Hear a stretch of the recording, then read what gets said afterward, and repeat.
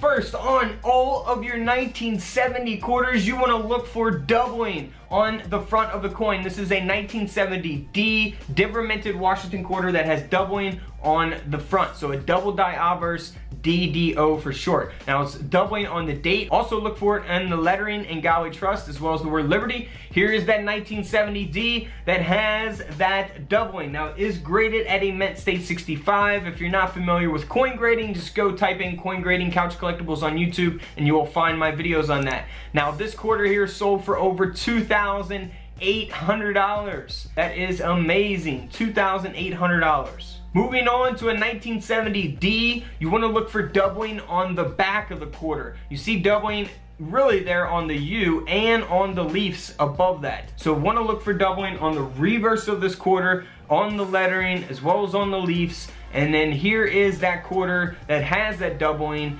and this 1970D Washington quarter sold for over $260. Also, for the 1971 Washington quarter, you want to look for doubling on the reverse as well. You can see that doubling on the lettering United States. You really see it there on the first S there. You can really, really see it on the left side of the screen. Now, here is an example of a 1971 double die reverse. And this one does have a high grade of a Mint State 65, graded by PCGS, with that double die reverse. And this quarter here sold for over $8,800.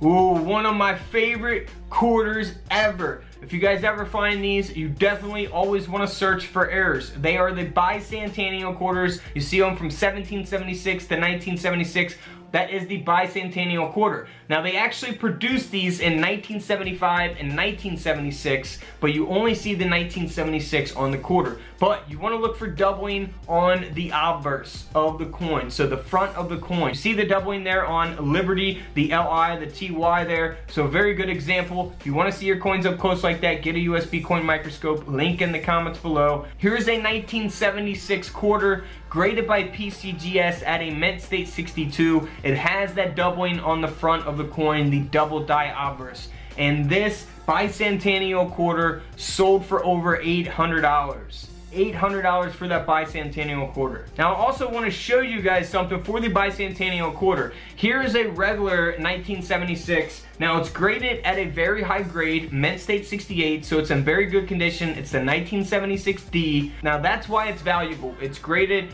very, very high. This quarter sold for over $6,400. Now this one is not silver. However, if we look at this other one, I want to tell you guys that there are silver versions of these coins out there. So the 1976, there are silver. I have a whole video on the 1976 quarter explaining how you can tell the difference between silver and non-silver.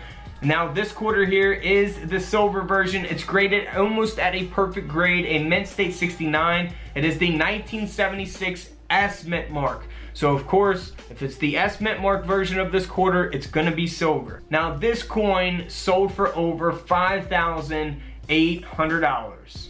Don't forget to subscribe in the middle, check out the videos to the left of me, and until tomorrow, I will see you all in the comment section below. This is Couch Collectibles, and this is where I disappear.